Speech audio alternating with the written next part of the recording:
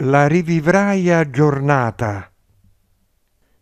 Se quando ero incarnato nel Medioevo non ho appreso la lezione di vita che dovevo apprendere, mi dovrò reincarnare nel Medioevo?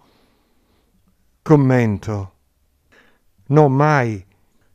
Ti reincarnerai in un ambiente evolutivo che per la storia sarà il futuro e la lezione del Medioevo che non hai appreso la rivivrai aggiornata nella tua futura incarnazione.